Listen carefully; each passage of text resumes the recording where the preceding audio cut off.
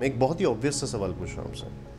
ये वही नवाज़ शरीफ हैं जिनकी पार्टी जो है पाकिस्तान के पंजाब प्रोविंस में उन्होंने 61 मिलियन का बजट सैंक्शन किया था लश्कर तैयबा को जमातुद्दावा को।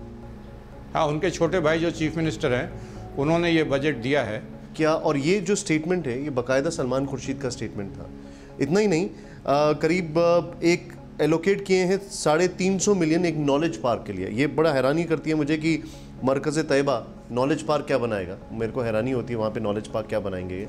लेकिन आ, मेरा पॉइंट ये है कि हम ये सब जानते हुए भी आ, क्या ये माना जाए कि नवाज़ शरीफ के आने के बाद एकदम से एस्कलेशन बढ़ा है? There is a design Nawaz Sharif के आने के बाद नहीं बढ़ा है। ये एस्केलेशन बढ़ना था क्योंकि चाइनीज़ गेम प्लान में पहला फ़ेज़ था भारत को सुलाने का। दूसरा फ़ेज़ है एस्केलेशन बढ़ाने का। नवाज़ शरीफ नहीं आते कोई और आता तो भी एस्केलेशन बढ़ती। आपको क्या हाफिज सईद और नवाज़ शरीफ में कोई कनेक्ट दिखता? है Nawaz Sharif is connected to Punjabi Taliban. Punjab से रिक्रूटमेंट होती है। एक भाई आर्मी में जाता है पाकिस्तान के। एक भाई रिक्रूट हो जाता है जिहाद फैक्ट्री में। पंजाब के अंदर कोई ज़िंदा नहीं रह सकता अगर इन इन दोनों इंस्टीट्यूशन से तालमेल नहीं हो और नवाज़ शरीफ के ऊपर कोई अटैक नहीं आया है ड्यूरिंग इलेक्शंस तो जितने भी रिटोरिक हैं उनके वो सब बेकार और जो पैसा दिया है उनके भाई ने जेयूडी को वो पैसा आतंकवाद भारत के अंदर इस्तेमाल होगा। वो उसका पर्पज़ है। They are all connected army अलग नहीं है नवाज़ शरीफ अलग नहीं है ये सब चट्टे बट्टे एक हैं। एक तरफ़ आपको नींद की गोली देंगे नई दिल्ली को।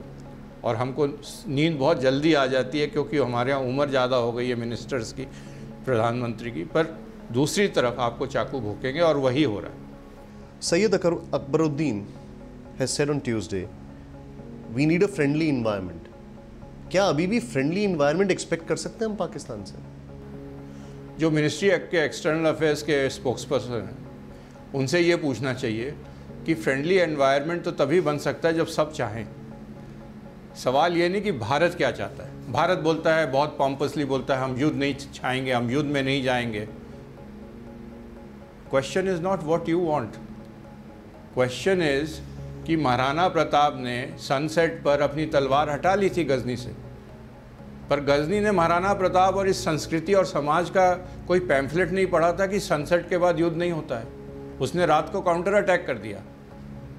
So this is what Akbaruddin has to understand कि हम क्या चाहते हैं इरेलीवेंट दुश्मन क्या चाहता है? दुश्मन चाहता है कि अरुणाचल प्रदेश आप उसको दे दें, दुश्मन चाहता है कश्मीर उसको दे दें पूरा, उसके बाद फिर वो और मांगे बढ़ेंगी। बहुत सारे टेरिटरी पर क्लेम है इन दो नेशंस के। नब्बे हज़ार स्क्वायर किलोमीटर एक क्लेम कर रहा है, जो हमारा कभी बॉर्डर ही नहीं था। तो सवाल ये नहीं है कि हमारी सियासत, हमारा मुग़ल दरबार दिल्ली में बैठा हुआ क्या चाहता है? सवाल यह है कि दूसरा डिश आउट क्या करने वाला है? आपको लगता है अभी जो सिनेरियो है prime minister will meet Nawaz Sharif in New York I am very confident he will find a pretext to meet him he should not in fact इस समय बातचीत बंद होना चाहिए। इस समय ट्रेड कॉमर्स ऑफ़ होना चाहिए। नेशनल असेंबली उनके रेजोल्यूशन भारत के खिलाफ पास कर रही है। पंजाब असेंबली पाकिस्तान की भारत के खिलाफ। ये एक ए, एक और डबल स्टैंडर्ड है। This this is what I am saying कि दोहरी नीति है। अब जो भी सिनेरियो आप अभी तक बता रहे हैं, उस सब के बीच में एक एक नई चीज़ पॉपअप करती है और वो वो होता है कि डिफेंस के अंदर corruption it's all in the paper CAG की रिपोर्ट आ गई. किस तरीके से ऑगस्टा वेस्टलैंड को जो ट्वीक किया गया, जो यहाँ पे कंडीशंस थी उनके चॉपर्स के लिए, उसको ट्वीक किया गया एकोमोडेट किया गया. आपको लगता है कि ये जितने भी फैक्टर्स हैं ये और ज़्यादा हमारी अप्रोच को किल करते जा रहे हैं और ये एक और लेयर आ रही है जिससे ऐसा लगता नहीं है कि हम कुछ एक्शन ले पाएँगे। किसी भी फ्रंट पर। करप्शन इतना बड़े पैमाने में है पूरे देश में कि सब तरह की जो ऑर्गेनाइजेशन हैं वो सबवर्ट हो चुकी हैं। उसमें डिफेंस ऑर्गेनाइजेशन भी सबवर्ट हो रही है। बहुत बड़े पैमाने पर। जो ऑगस्टा वेस्टलैंड हेलीकॉप्टर है, उसकी क्या इस समय ज़रूरत थी? मुझे एक मॉडर्न राइफ़ल चाहिए इंडियन आर्मी के लिए, जो मेरे पास नहीं है। मुझे करेक्ट ग्रेड के बुलेट प्रूफ जैकेट्स चाहिए, मेरे पास नहीं है। तो ये क्या वीआईपी हेलीकॉप्टर तो उसका जो आप पूरा देखेंगे तो उसमें बिल्कुल करप्शन हुआ होगा, हर डील में करप्शन हो रहा है। सीएजी ने अपनी रिपोर्ट में, भरत सर कहा है, कि 29 परसेंट यूटिलाइजेशन है, जो उस टाइम पर चॉपर्स के, उनके पास फ्लीट थी। उसके बावजूद भी ऑर्डर किया गया।